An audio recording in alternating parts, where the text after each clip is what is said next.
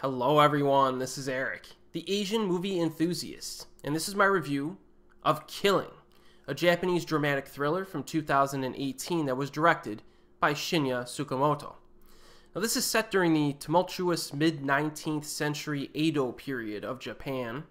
A masterless samurai, played by Sosuke Ikematsu, finds a peaceful life in a quiet village, but that existence comes under threat with the arrival of an older samurai, played by Shinya Tsukamoto himself, seeking to recruit a band of warriors to fight for the shogun. The young man has never killed someone before, but finds his pacifist ideals being tested to the absolute limit as swords are crossed and conflict ensues. So, yes, this is a samurai era film, but it definitely feels like a companion piece to Tsukamoto's last film, Fires on the Plain from 2014, not only in its themes, but also its forced setting and overall intensity. You know, the fact that it's a period piece is also a similarity, though the time periods are different. Now, these two movies would actually make a very nice double feature. They just they feel like they go together.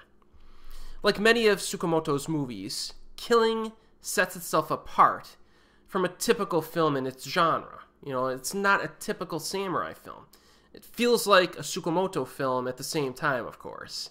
It's uh, I've heard some people classify or label or describe this film as being an anti-samurai samurai film because of its themes and, and the way things play out. And it's it's kind of true in that sense.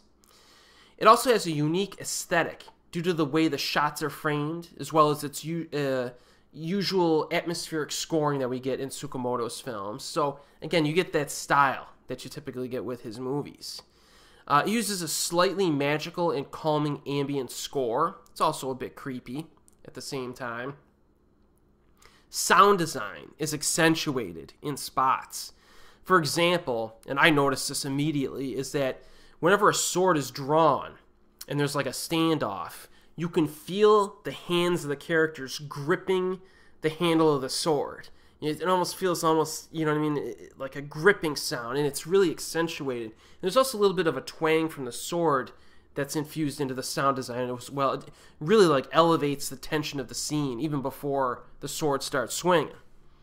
So that was pretty cool. I like that. In general, the film has kind of like a gritty tribal feel to it. You know, you got, you got the old school houses, Japanese houses. You see people work in the rice fields in the smoldering hot heat of summer. Uh, the forest has uh, loud cicadas, and you can hear the birds chirping, stuff like that. You know, it's a great film to watch like in the middle of the summer. You know, it just has that aesthetic to it. A lot of seasonal atmosphere. The themes and the conflicts, I think, were nicely developed. You know, you have the main character who struggles to make that leap to kill someone with his sword because he would rather diffuse a potentially violent situation rather than uh, exacerbate it. And that's kind of the main theme of the film. Will our protagonist take that step and kill a human being? And in order to test him, the scriptwriters introduce a conflict that's close to his home. Even before he has a chance to leave and fight for the shogun, some bandits or potential bandits arrive in town and could be a threat to the people there. And I thought that conflict was nicely executed. Because when all is said and done, you kind of question whether or not the proper actions were taken by our protagonists, you know, especially Shinya Tsukamoto's character, the, the samurai master, so to speak.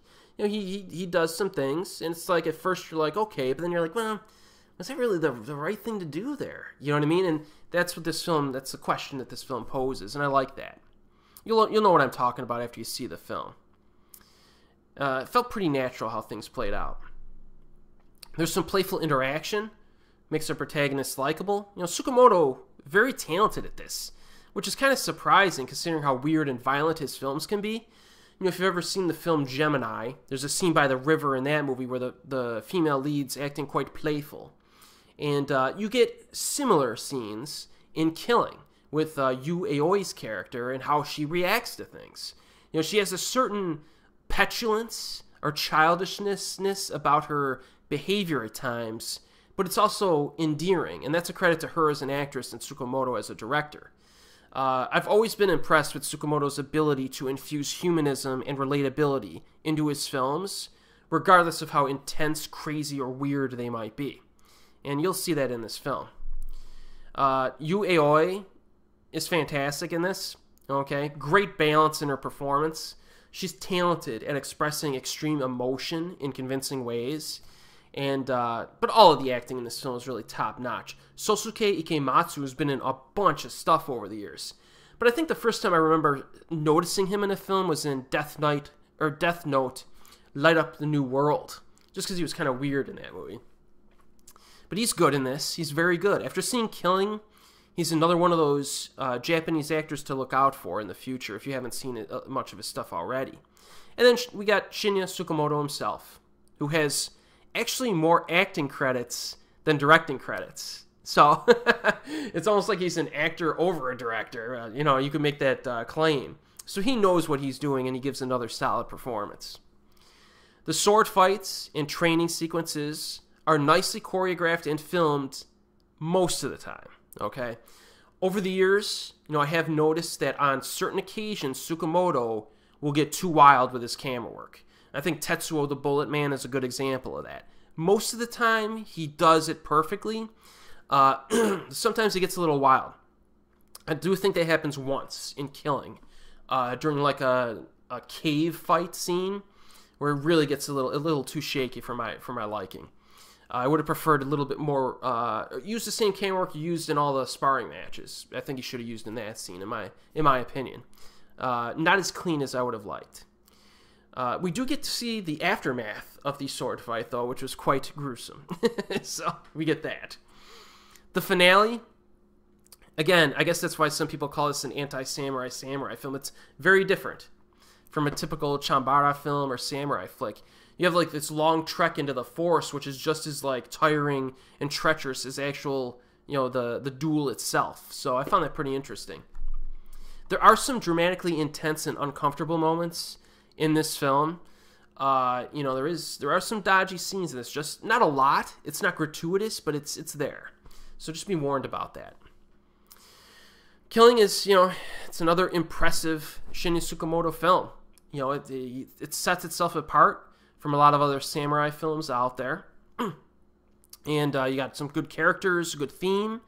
I strongly recommend it. You know, especially if you're into this director, definitely check it out. Uh, it is available on Blu-ray from Arrow Video as part of the uh, the Solid Metal Nightmares box set of films. But it's also available online, and I think it, it was released on physical media elsewhere as well. So, got a lot of options for this one, which is good it's good that Shinya's films are, you know, a lot of them we're, we're basically caught up on his films. Uh, I don't know if, what his next film is going to be or whatnot, but we're pretty much caught up at this point. So check it out. It's a good flick. And as always, we'll see you next time.